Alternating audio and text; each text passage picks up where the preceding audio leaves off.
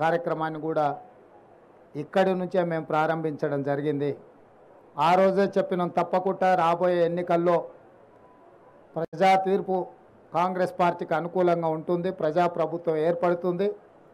పెద్ద ఎత్తున రాబోయే సమ్మక్క సారలమ్మ జాతరను మా చేతుల మీదుగా భక్తులకు అసౌకర్యం కలగకుండా అన్ని రకాల ఏర్పాట్లు మేమే సొంతంగా పర్యవేక్షించి ఏర్పాటు చేస్తామని ఆ రోజు చెప్పడం జరిగింది.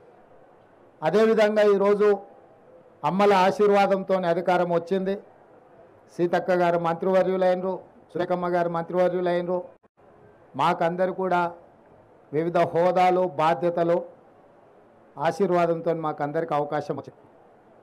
ఈరోజు ఆ బాధ్యతతోటి దాదాపుగా కోటి యాభై లక్షల మంది భక్తులకు ఎలాంటి అసౌకర్యం కలగొద్దు ఏర్పాట్లలో లోపం ఉండొద్దు అని చెప్పి మా ప్రభుత్వం నూట పది కోట్ల రూపాయల నిధులను కేటాయించి అహర్నిశలు ఎన్నికలు ముగిసిన వెంబడే జాతర ఏర్పాట్లను పర్యవేక్షించాల్సిన పరిస్థితిలో పొంగులేటి శ్రీనివాసరెడ్డి గారిని కొండ సురేఖ గారిని సీతక్క గారిని పొన్నం ప్రభాకర్ గారిని వీళ్ళందరినీ కూడా సమన్వయం చేసి మంత్రులతో ఒక బృందాన్ని ఏర్పాటు చేసి పేద ప్రజలందరూ కూడా రవాణా ఇబ్బందులు ఉండొద్దు అని ముఖ్యంగా ఆడబిడ్డలకు ఆర్టీసీ బస్సులో ఉచిత ప్రయాణాన్ని మా ప్రభుత్వం తీసుకున్న మొట్టమొదటి తొలి నిర్ణయం.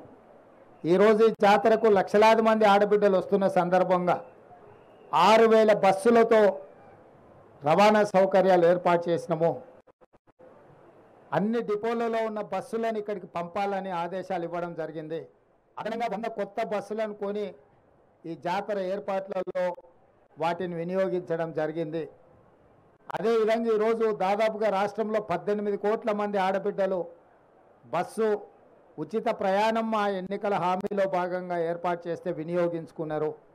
ఈరోజు జాతర కూడా లక్షలాది మంది వస్తున్నారు అని అంటే అది ప్రభుత్వం తీసుకున్న నిర్ణయం. ఈరోజు ఆడబిడ్డలందరికీ కూడా ఉపయోగపడ్డది. ఇదే కాకుండా రాజీవ్ ఆరోగ్యశ్రీ కావచ్చు ఇతర కార్యక్రమాలు కావచ్చు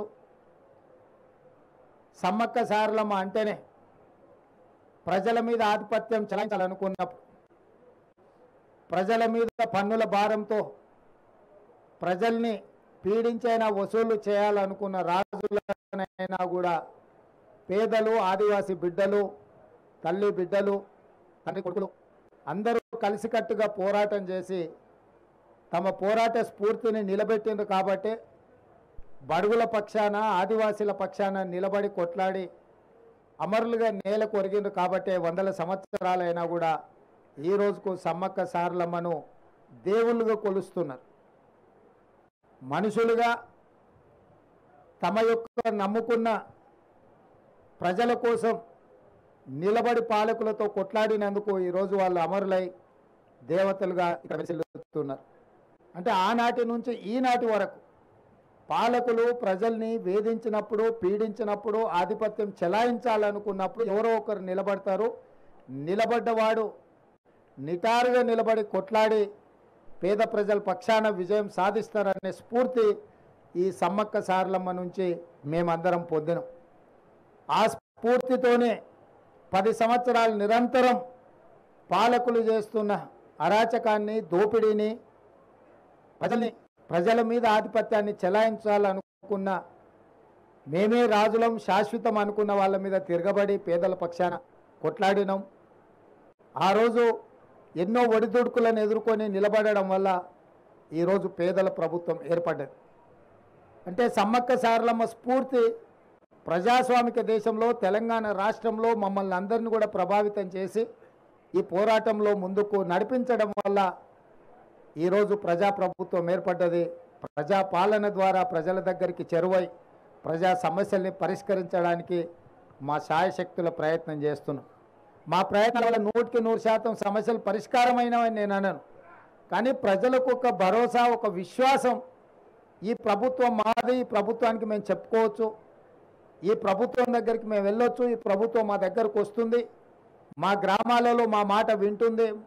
మా గ్రామాలలో ఉండే సమస్యల్ని ఈ ప్రభుత్వం పరిష్కరిస్తుంది. తండాలలో గూడాలలో కూడా ప్రజాపాలన ప్రజలకు చెరువవుతుందనే నమ్మకాన్ని ఈ డెబ్బై ఐదు రోజుల్లో మేము కల్పించే ప్రయత్నం చేసి ఇక భవిష్యత్తులో కూడా ఈ స్ఫూర్తిని కొనసాగిస్తాం. ప్రజలకు ఏం కావాలనో ప్రజలను అడిగి తెలుసుకుంటాం. మా ఎజెండా ప్రజల ఎజెండా. ప్రజలు ఏ అంశాలైతే మా దృష్టికి తీసుకొస్తున్నారో వాటిని ఎజెండాగా మార్చి మా ప్రభుత్వ విధానాలుగా మేము నిర్ణయం తీసుకొని ముందుకు వెళ్తున్నాము. ఈరోజు ఈ ప్రాంత అభివృద్ధి కోసం దక్షిణ కుంభమేళా లాంటి దాదాపుగా కూడిన భక్తులు ఈ ప్రాంతానికి వస్తే కేంద్ర ప్రభుత్వాన్ని చాలా సంవత్సరాల నుంచి జాతీయ పండుగగా